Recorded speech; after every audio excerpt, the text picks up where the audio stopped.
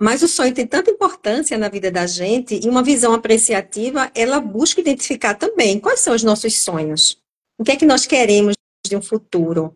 E não é que a gente vá viver no futuro, mas a gente tem que planejar ele. O futuro existe sim.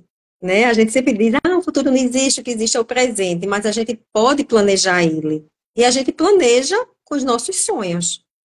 É, a gente então... precisa, né, sonhar o futuro, porque senão a gente acaba uh, deixando de fazer coisas importantes e vamos, vamos, vou dar um exemplo bem prático, até um pouco delicado, Isabel. A gente está vivendo todas essa, essas questões que estão acontecendo no Rio Grande do Sul.